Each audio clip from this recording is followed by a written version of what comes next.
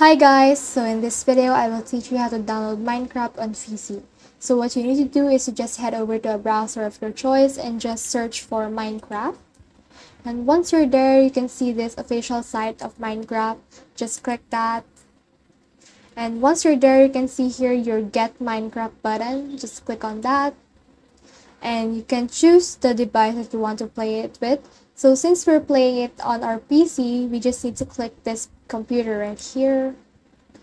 And once we're done with that, we just need to choose what collection or package we want to get. So let's choose base game and click on buy. And then after that, we just need to sign into Microsoft. So this is necessary because Minecraft is already owned by Microsoft. So we need to sign in first. And then after that, you just need to put your card or your payment method in order to purchase Minecraft.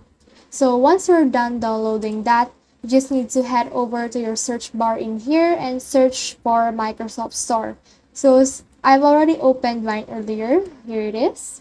So what I need to do next is to just click the search bar on the upper corner right here and search for Minecraft. And we can see in here the Minecraft launcher.